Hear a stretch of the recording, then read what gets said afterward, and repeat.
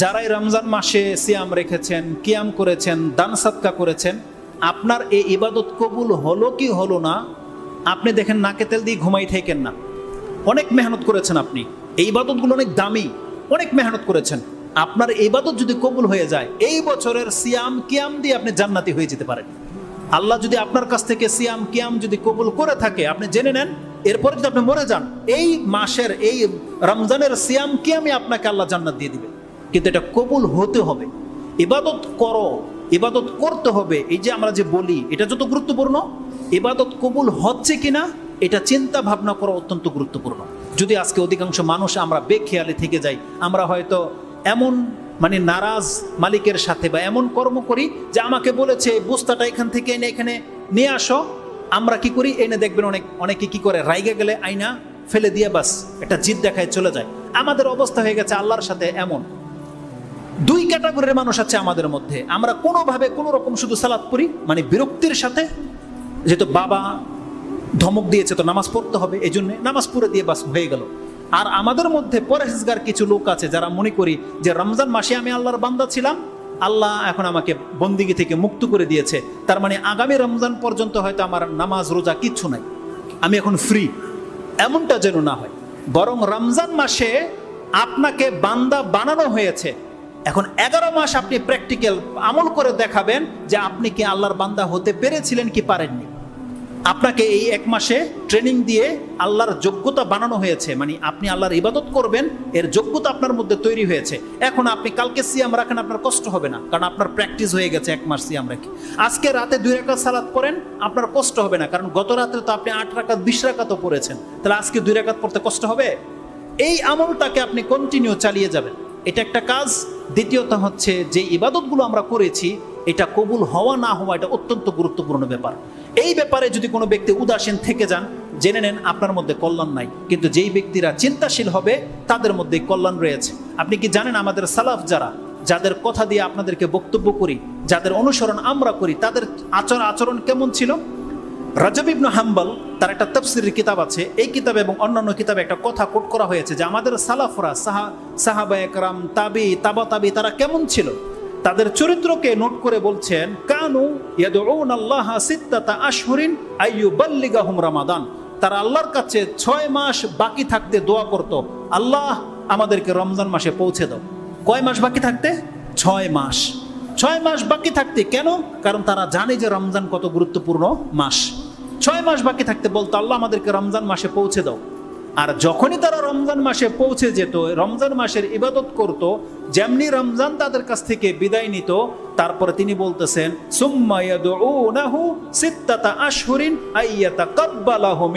তারা আল্লাহর কাছে ছয় মাস ধরে বলতে থাকতো, আল্লাহ রমজান মাসে যে ইবাদত আমরা করেছি, আল্লাহ তুমি এটা কবুল করো।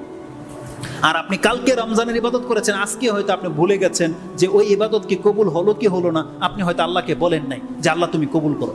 কিন্তু আজকে আলহামদুলিল্লাহ সঠিক দাওয়াতের প্রচার প্রসার কারণে ওই ঈদ মুবারকের জায়গায় যুবকরা এখন তাকাব্বাল আল্লাহ মিন্না ও মিনকুম বলতে শিখেছে। তার মানে কি? তাকাব্বাল আল্লাহ বা তাকাব্বাল আল্লাহ মিন্না ও মিনকুম কি মানিয়ের এর মানে হলো যে আল্লাহ আমার বা আমাদের এবং আপনাদের সব ইবাদতগুলো কবুল করুক। এটা হচ্ছে দোয়া। দেখা হলেই আপনি বলতেছেন, আল্লাহ আমার এবং আপনার সৎ কাজগুলো কবুল করুক। তাকাব্বাল আল্লাহ মিন্না ও মিনকুম। আর যদি একক বাক্য বলেন তাকাব্বাল আল্লাহ মিন্নি ও মিনকা। আর আমরা যেহেতু জুমলা বহু বচন দিয়ে বলি, তাই বলতেছি তাকাব্বাল আল্লাহ মিন্না ও মিনকুমান সালিহাল আমাল। এটা ছিল পুরো জুমলা, যে আল্লাহ আপনার, আমার থেকে সৎ কাজগুলো কবুল করুক।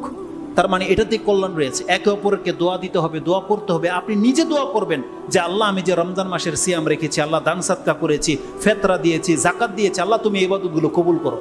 আপনি জানেন কবুল হলে কি হয়ে যাবে? আপনি হলেন মুত্তাকি। আল্লাহ কি বলেছেন? মিনাল মুত্তাকিন। আল্লাহ মুত্তাকিদের ছাড়া আর কারও ইবাদত কবুল করে না। আর আপনারটা যদি কবুল হয়ে যায়, তার মানে আপনি মুত্তাকি। আর আল্লাহ কি বলেছে? ও ইত্তাতলিল মুত্তাকিন। আমি জান্নাতকে প্রস্তুত করে রেখেছি মুত্তাকিদের জন্য। এই জন্য ইবাদত কবুল হওয়া মানে আপনি জান্নাতি। খুব খামখেলি বিষয় নয়। যার ফলে এই বিষয়টা অত্যন্ত গুরুত্বপূর্ণ। মূল কথা হলো, মূলত এটাই হলো প্রকৃত মমিন বান্দাদের গুণ যে একজন ব্যক্তি ইবাদত করে ক্ষান্ত থাকবে না, বরং ইবাদত করে সে পেরেশান থাকবে যে আল্লাহকে আমার এটা কবুল করল কি করল না। এই মর্মে সব থেকে কঠিন এবং চমৎকার আয়াত আল্লাহ সুবাহ সুরা মুমিনুন তেইশ নম্বর সুরার ষাট এবং একষট্টি নম্বরে উল্লেখ করেছে। এটাই ছিল আজকের আমার বক্তব্যের মূল মূল ভূমিকা বা মূল বিষয় আল্লাহ সুবাহ বলছেন ওয়াল্লাজিনা উতু মা আতাও والذين يؤتون ما آتوا وقلوبهم وجلة أنهم إلى ربهم راجعون আল্লাহ কিছু বান্দাদের গুণ বর্ণনা করছে এখানে আল্লাহ বলতেছেন ওয়াল্লাজিনা ইউতুনা মা আতাও তারা যা করার যা দেয়ার তা দিয়েছে তারা যতটুকু তাদের সামর্থ্য কুলায় আল্লাহর জন্য করেছে করে দিয়ে অকুলুবুহুম ওয়াজিলাতুন, কিন্তু তারা ইবাদত করেও তাদের অন্তরের মধ্যে একটা ভয়, একটা কম্পন আছে, একটা ভীতিও আছে। কি ভীত? কেন এই ভীতটা? আল্লাহ বলতেছেন, আন্নাহুম ইলা রাব্বিহিম রাজিউন কারণ তারা ভালো করেই জানে তাদেরকে তাদের রবের সামনে দাঁড়াতে হবে। এই ব্যক্তি যে এটা ভয় পায়, যে আমাকে আমার রবের সামনে দাঁড়াতে হবে, তাহলে আজকে আপনি, কালকে কি ইবাদত করেছি, এটা আমরা সবাই জানি। একটা মালিক, কোম্পানির মালিক যদি দেখে নেয় ক্যামেরাতে যে আপনি কালকে ফ্যাক্টরিতে কি আচরণ করেছেন আর আপনাকে যদি সংবাদ দেওয়া হয়, তুমি যে কালকে ওই জিনিসটা ভাঙছিলা বাড়ি দিয়ে, এটা কিন্তু মালিক দেখছে। এখন যখন আপনাকে অফিসে ডাকা হবে, আপনার অন্তরটা কেমন হবে? বলে, তার মানে আমরা কে কি ইবাদত করতেছি, ইবাদতটা কত নষ্ট করতেছি, এটা কিন্তু সব আল্লাহ জানে। এই অনুভূতি নিয়ে যখন আপনি আল্লাহর কাছে দাঁড়াবেন, আপনার অন্তরটা কেমন হবে?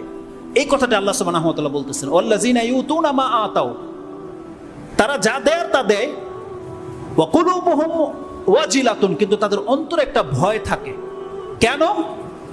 এই জন্য ভয় থাকে, আন্নাহুম ইলা রাব্বিহিম রাজিউন, কারণ তারা ভালো করেই জানে তাদেরকে আমার রবের সামনে দাঁড়াতে হবে। তার মানে আমরা প্রত্যেকে আমাদের রবের সামনে দাঁড়াবো, এই জন্য ভয়। আল্লাহ এদের গুণ প্রকাশ করে বলতেছেন, এরা হলো এমন ব্যক্তি, উলাইকা ইউসারিউনা ফিল খায়রাত, উলাইকা খায়রাত লাহা এরাই যারা নিজের করে। আর এরাই অগ্রগামী যারা আল্লাহর নিকটবর্তী হতে চায়।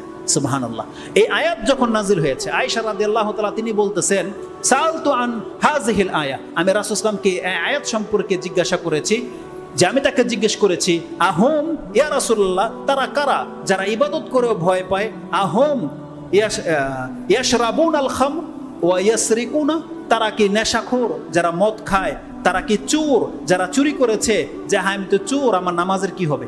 আমি তো নেশা করি, আমার নামাজের কি হবে? এরা ওই চোর পাপিগুলো সতলোকগুলা যারা নামাজও ওপরে চুরিও করে, আবার নামাজও ওপরে মদও খায়, এরা রাসুসলাম বলছেন বিনতা সিদ্দিক। হে সিদ্দিকের মেয়ে, না এরা নয়, বরং এল, আল্লাহ সুবহানা হুয়া এই আয়াতের মধ্যে ওই বান্দাদের কথা বলতেছেন, যেই বান্দা নেশা করে না, যেই বান্দা চুরি করে না, বরং এই বান্দা হচ্ছে সেই বান্দা, যেই বান্দা আল্লাহ জিনায়া সুমুনা যারা সিয়াম রেখেছে ওয়ুসাল্লুনা সালাত আদায় করেছে ওয়াতা সাদ্দাকুনা তারা সাদকা করেছে, কিন্তু তাদের ভয়, যদি আল্লাহ আমার সিয়াম কবুল না করে, যদি আল্লাহ আমার দান সাদকা কবুল না করে, যদি আল্লাহ আমার সালাদ কবুল না করে, আমার হবেটা কি? আল্লাহ ওই বান্দাদের কথা এখানে উল্লেখ করে দিয়েছেন। আল্লাহ তাআলা বলছেন ফিল খায়রাত, এরাই হলো কল্যাণকামী, এরাই আগে বেড়ে যেতে চায়। এই হাদিসটার ব্যাখ্যাটাকে ইমাম তিরমিজি রাহেমাহুল্লাহ, তিনি তার তফসিরের অধ্যায় এনেছেন। হাদিস নাম্বার হচ্ছে তিরমিজিতে হাদিস হচ্ছে এক হাজার তিনশো পঁচাত্তর, ইবনু মাজাতে হাদিসটা চার হাজার একশো আটানব্বই নম্বরে আপনি পেয়ে যাবেন। তার মানে আমরা যে ইবাদত করেছি, তার মানে আমাদের ভয় থাকতে হবে ভয়। এই ভয়টা আমাদের কয়জনের মাঝে আছে? কিন্তু দেখেন যে আমরা হচ্ছে উদাসীন। সর্ব শেষ পয়েন্ট যেটা আপনাকে বলব, কেন আপনি ভয় করবেন না? কেন? আপনি কি ভুলে গেছেন ইব্রাহিম আলাহ ইসলামের কথা?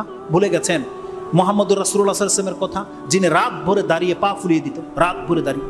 ইব্রাহিম আলাহ ইসলাম তার চমৎকার একটা উদ্ধৃতি এখানে উল্লেখ করা হয়েছে। কেন আপনি আমি নামাজ পড়ে আল্লাহকে ভয় করব কেন? ইব্রাহিম আলাহ ইসলাম সম্পর্কে বলা হয়েছে।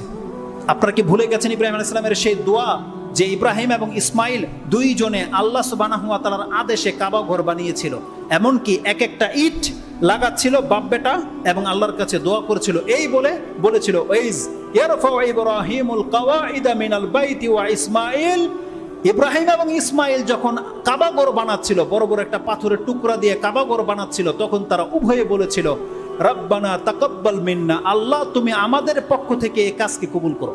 রব্বানা তাকব্বাল মিন্না, ইন্নাকা আনতাস সামিউল আলিম, আল্লাহ নিশ্চয়ই তুমি দোয়াকারের ডাকে শ্রবণ করে থাকো আল্লাহ, তুমি কবুল করে থাকো। এই দোয়াটা কোরআনের মধ্যে সূরা বাকারাতে একশো সাতাইশ নাম্বার আয়াতে রয়েছে।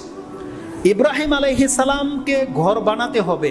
যেই জায়গাটাতে কাবা ঘর বানানো হয়েছে, কীভাবে বানাতে হবে, এটা কি ইব্রাহিম ইসলাম জানতো না আল্লাহ তাকে জানিয়েছে? জিব্রাইল আলাইহিস সালাম দেখিয়ে দিয়েছে, এই জায়গাটাতে ঘর বানান, এইভাবে ঘর হবে। আল্লাহ নিজে দেখতেছে, জিব্রাইল আলাইহিস সালাম উপস্থিত, তারপরও তার এই দোয়া করার প্রয়োজন কি ছিল? তার কাজ যদি ভুল হতো জিবরাইল ইসলাম ধরিয়ে দিতেন বা আল্লাহ ওহিনাজিল করতেন। কিন্তু নিজে ঠিকঠাক ভাবে করেছে। করার পরও তিনি ভয় আল্লাহকে বলতেছেন, রব্বানা তাকাব্বাল মিন্না ইন্না কান্তা সামিউল আলিম। আল্লাহ আমাদের কাজ তো করেছে, আল্লাহ তুমি কবুল করো। এই কথাটা, এটা তো আমরা আয়াত জানি, কিন্তু এটা তাবিদের অন্তরে কীভাবে হার্ট করেছে, সেই কথাটা বলাই হচ্ছে আমার উদ্দেশ্য। এটা কে বর্ণনা করেছে? ইবনু ইবনু কাসির রাহমাহুল্লাহ। এই উদ্ধৃতিটা নিয়ে এসেছেন। আর ওহাইব ইবনুল ওয়ারদা আন্নাহু কারা হাজিহিল আয়া যখন এই আয়াতটা পড়ছিল, সুম্মা ইয়াবকি, এবং কেঁদে দিল। এই আয়াতটা যখন পড়তেছে আর কাঁদতেছে, তখন তাকে জিজ্ঞাসা করা হয়েছে ওয়াকুল এবং সে তাকে তখন বলল, ইয়া খালিল আর রহমান, হে রহমানের খালিল, তারফাউ কাওয়াইমা বাইতার রহমান, ওয়া আনতা মুশফিকুন আল্লাহ ইয়াতাকাব্বালা মিনক। তিনি ইব্রাহিম আলাহ ইসলামকে স্মরণ করে কেঁদে দিয়েছে যে আপনি আল্লাহর খলিল, আল্লাহর ঘর বানাচ্ছেন। আর আপনার এই ভয় হলো যে আপনার ইবাদত আল্লাহ কবুল করবে কি করবে না? আপনার ভয়, যার ফলে আপনি আল্লাহর কাছে এই দোয়া করেছেন সুবাহান আল্লাহ তাহলে আমাদের ইবাদতের কি হবে? আমরা তো ইবাদত করে আল্লাহ সুবাহ কাছে একবারও বলিনি যে আল্লাহ এটা কবুল করো একবারও বলিনি।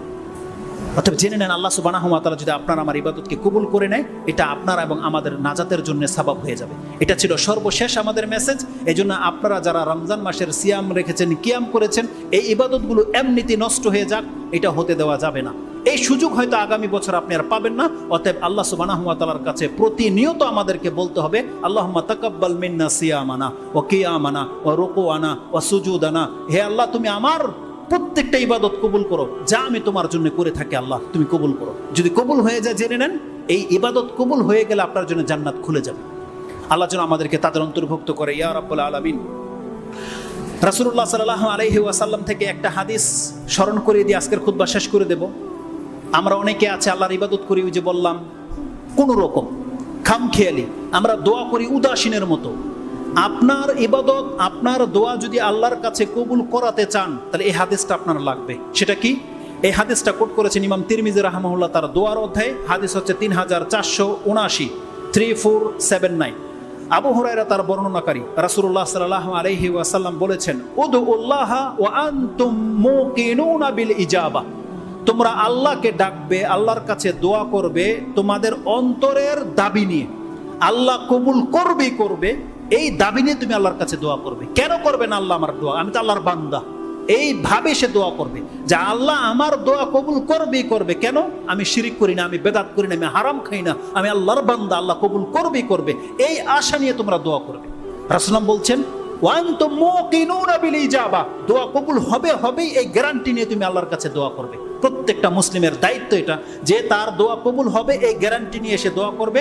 বিল ইজাবা ওয়াল ওয়ালামু আন্নাল্লাহা লা ইয়াস্তাজিবু দুআআন মিন কলবিন গাফিলিন লাহিনিন। আর রাসূল এটাও বলে দিয়েছেন, তোমরা জেনে নাও, আল্লাহ সুবহানাহু ওয়া তাআলা ওই ব্যক্তির দোয়া কবুল করে না, যেই অন্তর উদাসীন, যেই অন্তরের মধ্যে গ্যারান্টি নেই, পরিতৃপ্ত নাই। কালবিন গাফিলিন লাহিন। এক তো দোয়া করার সময় গাফেল, আর লাহিন মানে হলো আমি আল্লাহর কাছে চেয়ে দিলাম, দিলে দিল না দিলে নাই। এমনভাবে চলবে না। দোয়া যদি কবুল করাতে হয়, আপনার অন্তরে বিশ্বাস নিয়ে দোয়া করবেন যে আল্লাহ আমার দোয়া কবুল করবেই করবে, এবং আপনি যখন দোয়া করবেন একিনের সাথে, খাম খেলে খাম খেলে দোয়া করে আল্লাহ সুবাহ কবুল করে না। আল্লাহ সুবাহ যেন আমাদেরকে বোঝার এবং সে অনুযায়ী আমল করার তৌফিক দান করে। রমজান মাসে আমরা যে ইবাদতগুলো করেছি, আল্লাহ সুবাহ তালার কাছে আমরা আন্তরিকভাবে দোয়া করি, আল্লাহ যাদের ইবাদত কবুল হয়েছে, তুমি আমাদেরকে তাদের অন্তর্ভুক্ত করে দাও। আল্লাহ তুমি প্রত্যেক মুসলিমের সংসার থেকে অভাবকে দূর করে দাও। আল্লাহ যাদের ঘরের মধ্যে অশান্তি আছে, আল্লাহ তুমি তাদের মধ্যে শান্তি ফিরিয়ে দাও। এবং যে করোনা চারোদিকে ছেয়ে যাচ্ছে, আল্লাহ তুমি আমাদেরকে যাদেরকে সুস্থ রেখেছো, আল্লাহ এই বিপদ থেকে তুমি আমাদেরকে মুক্ত রাখো। আল্লাহ তুমি সাহায্য করো ওই সমস্ত মুসলিম ভাইদেরকে যারা বিপর্যয়ের মধ্যে রয়েছে। এবং ওই সমস্ত মুসলিম ভাইদের উপরে, যাদের উপরে অমুসলিমরা অত্যাচার চালাচ্ছে, বিশেষ করে ফিলিস্তিনের মুসলিমদের উপরে আল্লাহ তুমি সাহায্য করো। আল্লাহ তুমি বলেছ তোমার সাহায্য অত্যন্ত নিকটে। আল্লাহ তুমি তোমার ওয়াদাকে বাস্তবায়ন করে দেখাও। যাতে করে এই সময় এই বেশি দিন যেন না যায়, এই কাফেরগুলো যেন নাস্তা নাবোধ হয়ে যায়, আল্লাহ তোমার পক্ষ থেকে তুমি বিচার গ্রহণ করো। আর না হয় আল্লাহ তুমি আমাদেরকে শক্তিশালী করো, আমাদের মুসলিমদেরকে এক করে দাও, যাতে এর পাল্টা জবাব আমরা দিতে পারি। আল্লাহ তুমি আমাদেরকে সাহায্য করো। আল্লাহ তুমি আমাদেরকে অমুসলিমদের জন্য হালাল করে দিও না। আল্লাহ তুমি আমাদের নেতৃত্ব দান করো, আমাদেরকে যোগ্য নেতা দান করো, যার মাধ্যমে আমরা ইসলামটাকে প্রতিষ্ঠিত করতে পারব এবং বাতিলকে রুখে দিতে পারব। এবং আল্লাহ তাআলা তুমি আমাদের এই ইবাদতগুলোকে কবুল করে নাও। আল্লাহ আগামী রমজান পর্যন্ত আমাদেরকে পৌঁছে দাও। এর আগে যদি কোনো ফেতনা চলে আসে, আল্লাহ সেই ফেতনা পতিত হওয়ার আগেই তুমি আমাদেরকে সম্মানজনক মৃত্যু দান করো। ইয়া রাব্বাল আলামিন, সুবহান রাব্বিকা রাব্বিল ইজ্জাতি আম্মা ইয়াসিফুন, ওয়া সালামুন আলাল মুরসালিন আলহামদুলিল্লাহি রাব্বিল আলামিন। আসসালামু আলাইকুম ওয়া রাহমাতুল্লাহি ওয়া বারাকাতুহু।